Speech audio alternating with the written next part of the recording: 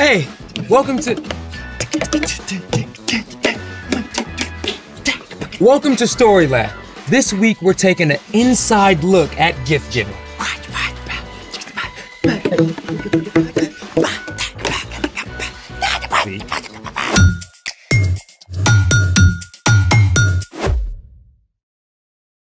Hi, I'm Carter. And I'm Zeke. We're talking about how God's generosity gives us a reason to give to others.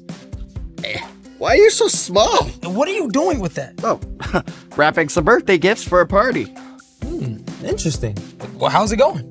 Uh, great. Actually, I had a little mishap. Nope. So, how many did you wrap? Oh, um, about zero. You know, gift giving is kind of overrated. First, you have to buy it, then you have to wrap it, and then you have to deliver it. Maybe you just need to make it more fun. more fun. How? I've been working on something. Oh, please tell me it's a gift wrapping robot. This is more about the gift delivery part. Oh, well, Let's finish making it. Today, we're going to finish up a catapult. ooh, very medieval. Patience, my friend. To catch you up, first I built this frame out of popsicle sticks and handicraft cubes.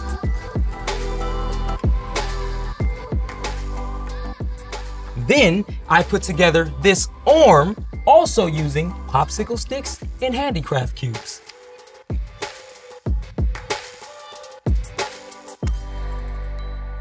You never considered that I might want in on this uh, catapultuous action? you, my friend, get to put it all together. Oh, yes, I'm in. What do I do? All right. Take this dowel and lay it on top of these cubes in the frame to see how long it should be. Oh, oh, okay. Um, so, like that? Spot on. Yeah, you can cut it right there.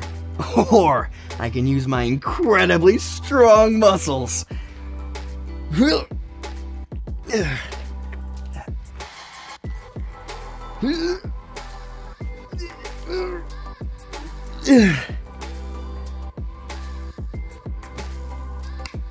That works. Great. Now, thread this dowel through this hole in the middle of the arm and pop the ends into the holes in the frame. Sounds easy enough.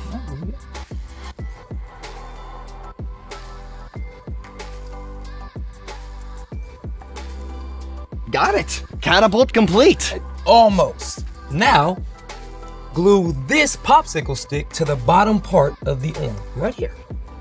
There you go.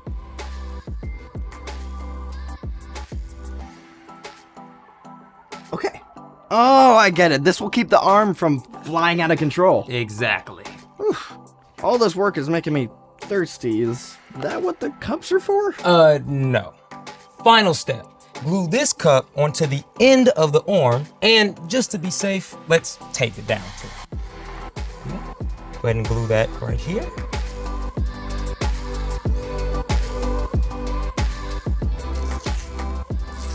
We'll run from the inside of the cup Okay. all the way around the back. How's it look? Great. Know, I say it's time for some gift delivery. Okay, it's all built, it's all ready, Oh, right? yeah, it's ready. Okay. Put all these in oh, here. Oh yeah, load them up. Load it up. Almost. Yeah, perfect, perfect, perfect. Okay. You ready? I'm ready. All right, here goes. Special delivery. Did you see that? Look good. A catapult is known as a simple machine or lever because it has only two parts an arm that you push on and a fulcrum where the arm balances. The longer the arm, the farther the object will fly. My turn. Okay, go, go. Yeah, put a little. Perfect, perfect. Oh, I can't wait. You ready? Yeah, yeah, yeah. That's way too short. You know, this is way too easy. I've got a better idea. Look at that. Yeah, yeah. Great idea. One. Yeah. Oh, we really getting that. Uh huh. Okay. Okay. Let's do this. Let's do it.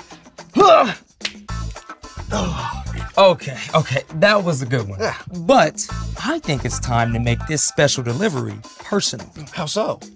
Do you trust me? Yes. No. Maybe. In three, two, one. Ah, Try again. Okay. Oh, it's so close. My mouth isn't big enough. Oh, we did it. Let's go. oh, you're right. This kind of gift giving is totally fun. Right? Which reminds me, it's time for. The story before the story. Today, we're in the book of Second Corinthians. Second Corinthians is one of 21 letters in the New Testament. The leaders of the early church wanted to teach Jesus followers what was true, and they often wrote letters to do that. The Apostle Paul sent several of these letters to the believers in the church at Corinth. Paul had visited Corinth on a second missionary journey to tell people about Jesus. Though the church had struggled in the past, now they were following God with their whole hearts, So, Paul wrote a letter to encourage them. which is where our story starts. Take it away. Hey everyone, I'm Brian. And I love this time of year that's coming up.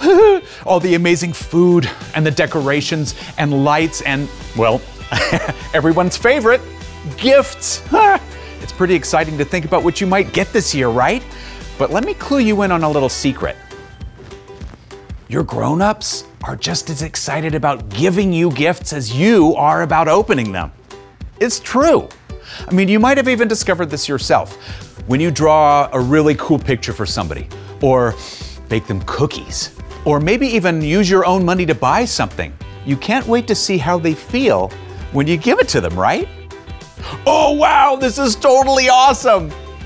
Well, when Paul wrote his letter to 2 Corinthians, he had a lot to say about giving. You do well in everything else, so make sure that you also do well in the grace of giving to others. Paul explained that he was going to be sending his friend Titus to visit the Corinthians.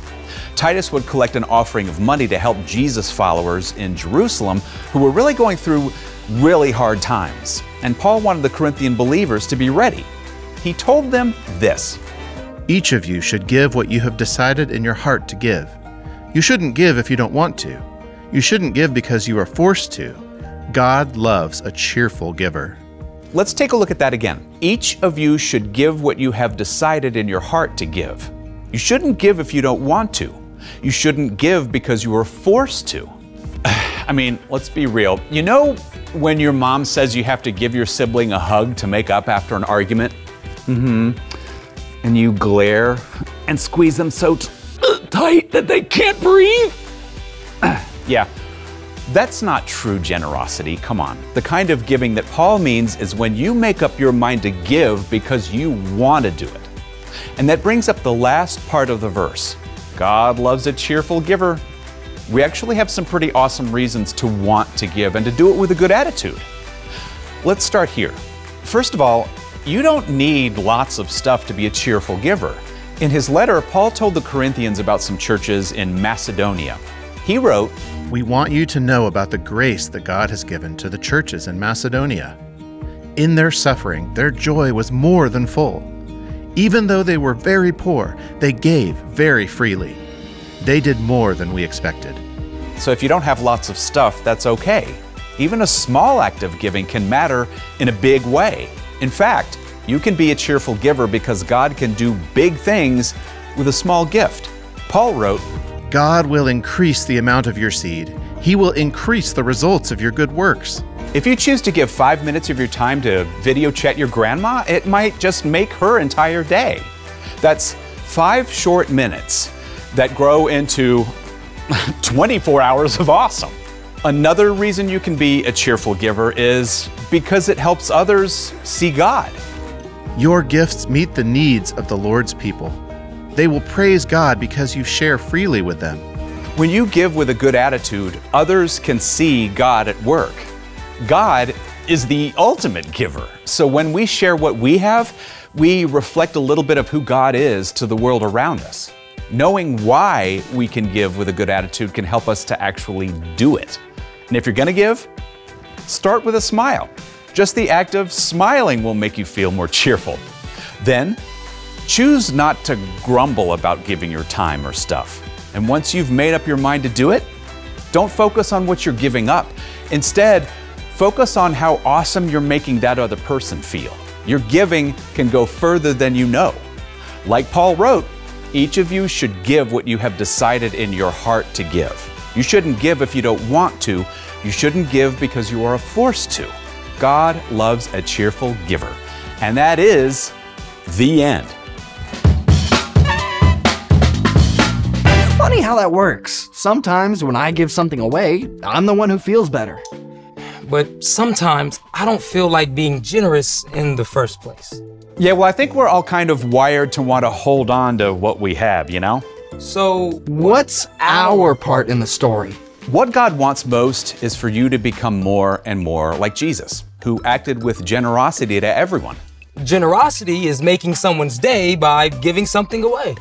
When you're tempted to hold on to what you have or to grumble about giving, remember that every single thing you have is already a gift from God. Your possessions, your time, all of it. We are all like managers of God's stuff. Yeah. And when we give, God can use it to do big things. When you keep that in mind, you might even be able to get excited about what your giving can do. It can shift your whole attitude. You can choose to be a cheerful giver if you set aside some of your allowance each week to help others. Or when you keep your time to help out a younger sibling with their homework. Or to help your grandma figure out the TV remote. Even be cheerful about sharing an amazing batch of Christmas cookies with your neighbors when you really want to eat them all. You know, like nom nom nom nom nom nom nom. The more you choose to give with a good attitude, the more you'll find yourself making somebody's day by giving something away. And this is a great time of year to practice. Sure is. Also, huh, now I want cookies. See you next time. So, here's the thing give with a good attitude. Even if the wrapping part is a fiasco. You know, I don't think people really care how you give a gift as long as you're happy doing it. Yeah, and I feel extra happy when I see their joy. Win win. Speaking of, Carter, here's a little something for you. Oh, you shouldn't have, Zeke. Thanks. Thanks for joining us in the Story Lab. See you next time. Do you like your gift? Yes, um, I have a question. Do you mind delivering it to me via catapult? That sounds like a great idea. Let's go. Go, go, go, go. All right. You ready? Yep. Oh, so close. Come on, another one. Oh, a bit too high, a bit too high.